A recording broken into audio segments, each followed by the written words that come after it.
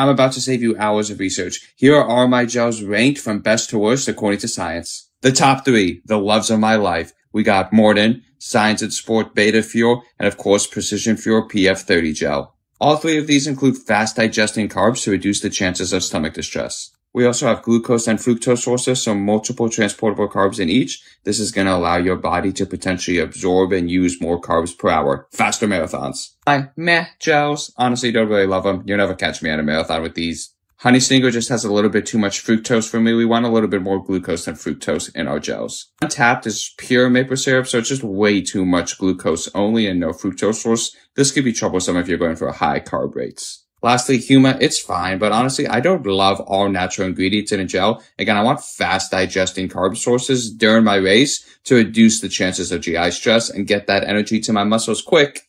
Ugh, the no-no gels. Sorry, brand deals. UCAN.